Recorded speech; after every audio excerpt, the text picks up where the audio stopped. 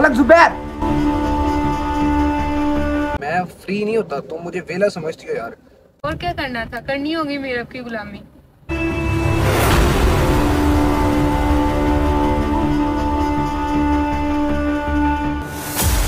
अच्छा वो मैंने आपको एक इम्पोर्टेंट बात बतानी थी। हाँ हाँ मरियम। बताओ क्या बात होगी? होती है बेवफाई तुझे करके दिखा